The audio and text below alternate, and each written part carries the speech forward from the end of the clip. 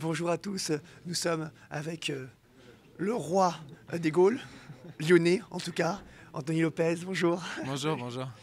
Alors maintenant, il n'y a plus euh, d'excuses on est obligé de venir ici pour venir jouer au paddle, hein. c'est terminé. hein. Voilà, il n'y a plus d'excuses. Maintenant, il faut venir à All In Paddle ici euh, à Dessines pour, euh, pour pouvoir jouer et puis et pour prendre euh, un maximum de plaisir. Alors, aujourd'hui, on voit de plus en plus de footballeurs hein, s'investir dans, dans ce sport.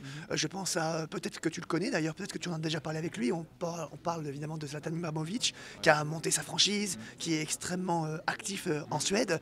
Euh, tu es sur cette même lignée, tu te dis, ben, moi j'adore le paddle, j'ai envie de m'investir à fond. Ouais, ouais, j'adore le paddle parce que c'est un sport qui, euh, au niveau de mes caractéristiques, en tout cas de, de gardien de but, c'est un sport qui, qui ressemble pas mal de choses au niveau des appuis, euh, tout ça. C'est quelque chose qui me, qui me plaît beaucoup dans ce sport et, et- et que j'aime d'ailleurs. Ça me permet d'avoir un sacré échappatoire pour, pour euh, sortir un peu du football et, d'aller taper un peu la balle. Donc c'est sûr que, que pour moi, c'était un investissement, un investissement logique. Et puis euh, le fait que, que Joe, euh, Thierry m'accompagne aussi dans, dans- ce projet, c'est quelque chose qui a fait basculer, basculer du bon côté de la balance. Donc, donc voilà, je suis, je suis très fier, très fier de pouvoir partager ça avec eux parce que c'est des amis et, et- et- qu'on puisse, voilà, qu'on puisse, qu'on puisse inaugurer ça tranquillement. On va continuer euh, justement sur tes euh, talents euh, footballistiques.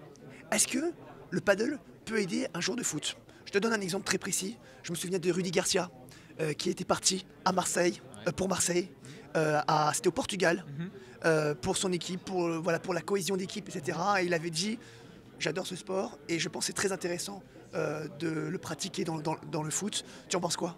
Euh, bah, moi, je suis tout à fait d'accord parce que c'est vrai que tu as un esprit d'équipe. euh, Il y a beaucoup, beaucoup de mental, bon, dans tous les sports aussi, mais c'est vrai que, qu'en tout cas, euh, je vais revenir un peu sur, sur mon poste à moi que je pratique au quotidien. Le rôle de gardien de but, c'est énormément sur les, sur les appuis, les appuis bas.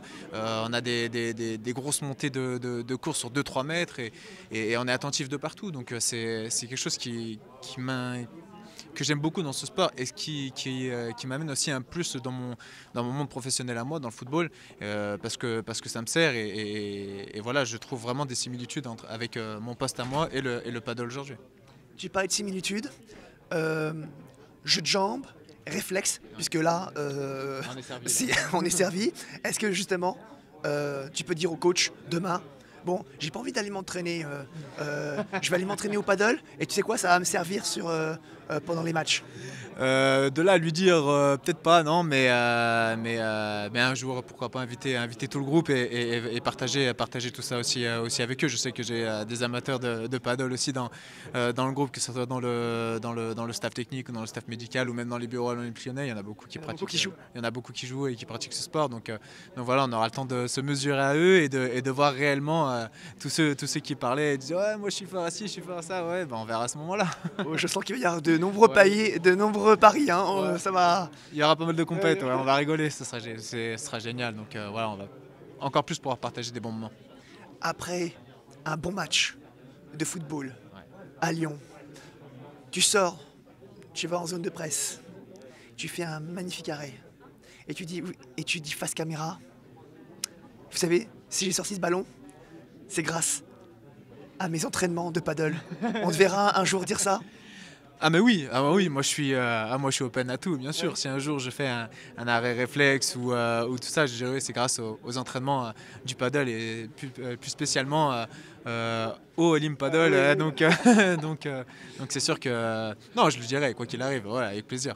Bon, vu que ça arrive tous les jours, euh, en tout cas toutes les semaines, on a la chance de voir des beaux arrêts. J'ai presque envie de vous dire rendez-vous euh, lors du prochain match euh, lyonnais.